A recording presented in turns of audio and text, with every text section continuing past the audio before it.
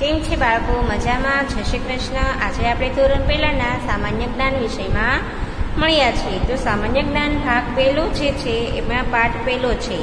શરીરના ભાગો. પાના નંબર એમાં પાંચ ઉપર તમે જુઓ.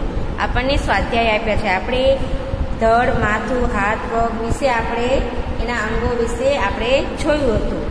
હવે આપણે આગળ સ્વાધ્યાયમાં લેખન કરીશું. એમાં આપણે આપણે જુઓ છો અહીંયા તમે. અહીંયા નીચે તમને ચિત્ર આપ્યું છે. એમાં નીચેના ચિત્રના શરીરના ભાગો તમારે બોક્સની અંદર લખવાના છે. તો તમે અહીંયા જુઓ છો, તમને અહીંયા નિશાની પણ આપેલી છે. તો એ નિશાની પ્રમાણે આપણે લખવાનું છે. તો અહીંયા પેલા આપણને જે એરો કર્યો છે, ત્યાં શું છે? કપાળ. આ શું છે? કપાળ. તો અહીંયા લખેલું છે આ કપાળ. એ રીતે તમારે જોઈને લખવાનું છે. પછી અહીંયા શું છે? માથું. માથું. તો આપણે અહીંયા લખવાનું માથું આ રીતે.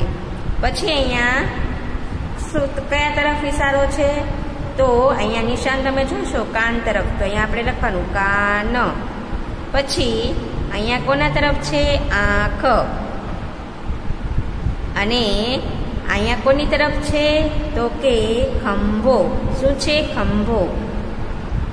તો અહીંયા આપણે ખંભો લખવાનો. પછી અહીંયા કોના તરફ નિશાની છે? તો કે ના ક કોના તરફ છે? ના ક એની પછી અહીંયા તમે જોઈ શકો છો. અહીંયા જે છે, એરો એ કોના તરફ છે? તો કે કમર. અહીંયા આપણે કમર લખવાનું છે. પછી અહીંયા જે એરો છે, એ કોના તરફ છે? દાંત. તો અહીંયા દાંત લખવાના છે. પછી અહીંયા કોના તરફ છે? હાથ. તો અહીંયા આપણે હાથ લખવાના છે. એવી જ રીતે નીચે તમે જુઓ, અહીંયા જે છે, એમાં આપણને કોના તરફ છે? કાંડું. તો કાંડું, આમાં તમે જોઈ શકો છો, અહીંયા કાંડું છે. કાંડું. એવી રીતે વાંચીને પછી લખતું જવાનું છે. પછી અહીંયા તમે એરો જુઓ, તો અહીંયા છાતીનું છે. તો છાતી ક્યાં લખ્યું છે? અહીંયા છે છાતી. તો અહીંયા તમારે લખવાનું, છાતી. એવી જ રીતે તમારે પછી નીચે જુઓ, તો અહીંયા જે એરો છે એ કોના તરફનો છે? સાથળ. તો સાથળ ક્યાં લખ્યું છે? અહીંયા લખ્યું છે. તો લખવાનું, સાથળ. એવી જ રીતે નીચે પણ તમે જુઓ, અહીંયા આ એરો છે એ કોના તરફ છે? તો કે આપણી નાભી તરફ છે. નાભી એટલે કે શું કહેવાય ને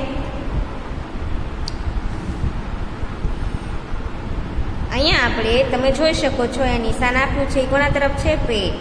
તો અહીંયા આપણે પેટ લખવાનું છે. પછી અહીંયા તમે જુઓ, તો અહીંયા કોના તરફ છે? તો કે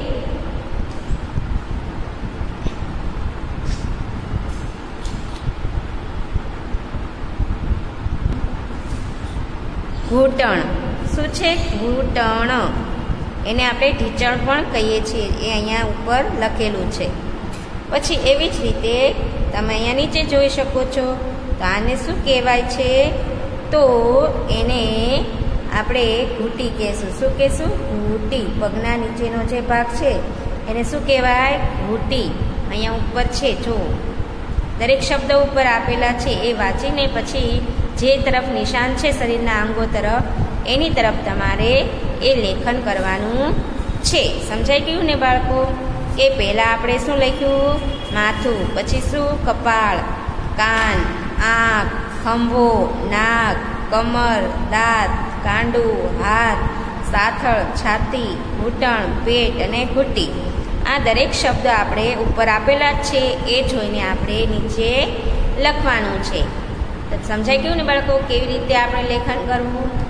આ રીતે તમારે તમારી બુકની અંદર લેખન કરવાનું છે. હવે પછી આપણે આગળના વિડીયોમાં મળીશું. કેમ છે બાળકો? મજામાં? જય શ્રી કૃષ્ણ.